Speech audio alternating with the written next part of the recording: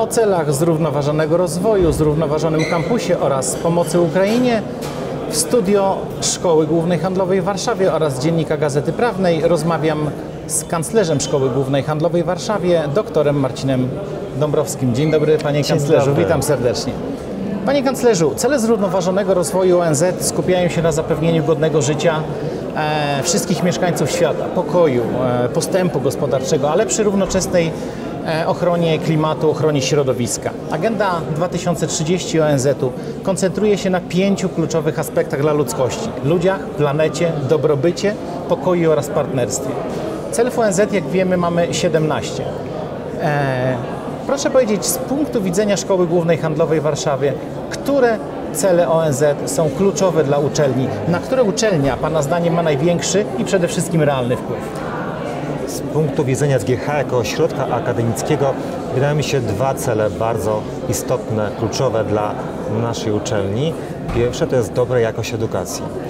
A idzie tutaj, idzie tutaj zarówno o zapewnianie wysokiej jakości kształcenia, jak również o to, aby upowszechnić e, idee, które właśnie ONZ nam proponuje w tych 17 celach. Czyli idzie o edukację, powszechną edukację społeczności, społeczeństwa w obszarze zrównoważonego rozwoju. My jako SGH dość dużo w tym obszarze robimy. Nasi studenci już na studiach licencjackich mają obowiązkowy kurs w obszarze zrównoważonego rozwoju organizacji. Ponadto rady kierunków e, pracują nad doskonaleniem programów studiów, starając się o to, aby te zagadnienia były e, proponowane, były przedstawiane w, na różnych przedmiotach w bardzo różnych perspektywach. Tak więc te dwa obszary są myślę, że najbardzo najważniejsze dla SGH z punktu widzenia ośrodka akademickiego. Jasne. Kluczowym wyzwaniem, e, przed jakim stoi świat, mówiąc bardzo górnolotnie, ale myślę, że taka jest prawda, jest walka z kryzysem klimatycznym. E, To wyzwanie dla państw, rządów, samorządów, ale też pojedynczych mieszkańców, pojedynczych osób, którzy mają wpływ na to, czy zanieczyszczają planetę, czy nie. Czy reprezentowana przez Pana uczelnia, czyli Szkoła Główna Handlowa w Warszawie, podejmuje działania w celu osiągnięcia neutralności klimatycznej? Czy jako uczelnia z wieloletnimi tradycjami, która posiada zarówno stare budynki, jak i nowoczesne, jest w stanie tak prowadzić działalność, aby można mówić o zrównoważonym kampusie? Działamy w tym obszarze od wielu lat i staramy się rzeczywiście tak zarządzać infrastrukturą uczelni, aby zapewnić tę neutralność w przyszłości. Wszystkie nasze nowe inwestycje tak realizujemy, aby były bardzo energooszczędne. Nawet e, staramy się pozyskiwać certyfikację na przykład BRIM. W przypadku starszych budynków staramy się optymalizować zużycie energii, e, innych mediów. E, staramy się także edukować no, naszą społeczność, studentów, e, pracowników e, w zakresie dobrych postaw. Promujemy także te dobre postawy poprzez różne konkursy. Przykładem jest budżet studencko-pracowniczy, studencko-doktorancki, który prowadzimy pod hasłem innowacje ekologiczne. Studenci zgłaszają pomysły na innowacje eko- e- ekologiczne, e, które poddawane są e, głosowaniu społeczności i najlepsze, naj- najpopularniejsze e, przedsięwzięcia później realizujemy.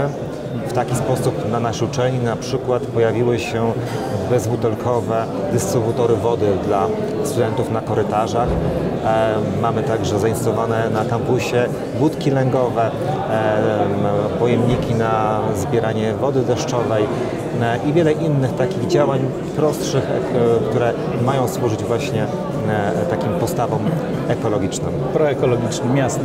Panie kanclerzu, w pierwszym pytaniu, e, mówiąc o celach ONZ-u, zrównoważonego rozwoju ONZ, wspomniałem o pięciu kluczowych aspektach dla ludzkości, czyli o ludziach, planecie, dobrobycie, e, pokoju. I z tych pięciu celów, o których wspominaliśmy w ostatnim czasie, no, na myśl przychodzi od razu wojna w Ukrainie. Cztery z nich, czyli e, ludzie, planeta, dobrobyt i pokój zostały wystawione na ogromną próbę. Co do tego nie ma wątpliwości. Jest jeszcze piąty obszar partnerstwo i ten przynosi nadzieję tak naprawdę. Myślę, że możemy mieć takie poczucie, że mm, chyba wojna w Ukrainie e, obudziła w Polakach ogromne pokłady empatii. I myślę, że Szkoła Główna Handlowa w Warszawie, podobnie jak inne firmy czy instytucje, bardzo zaangażowała się w pomoc. Proszę mi powiedzieć, tak z Pana perspektywy, jak Pan ocenia te pierwsze dni, tygodnie, wojny w Ukrainie?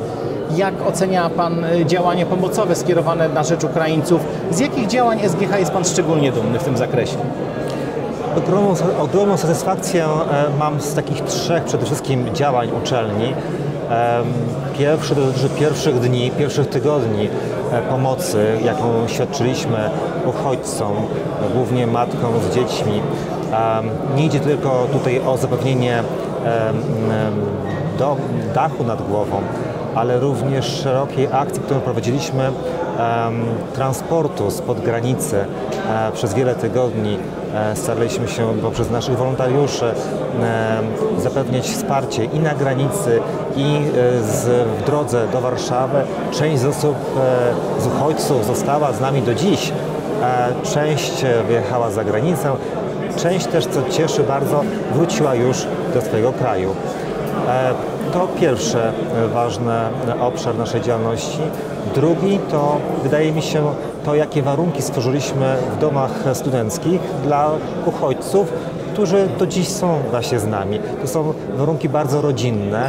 Oni czują bardzo duże wsparcie z naszej strony. E, Czują, że traktujemy ich bardzo po partnersku i chcemy, aby zapomnieli o traumie, jaką, e, jaką, jaką doznali na Ukrainie.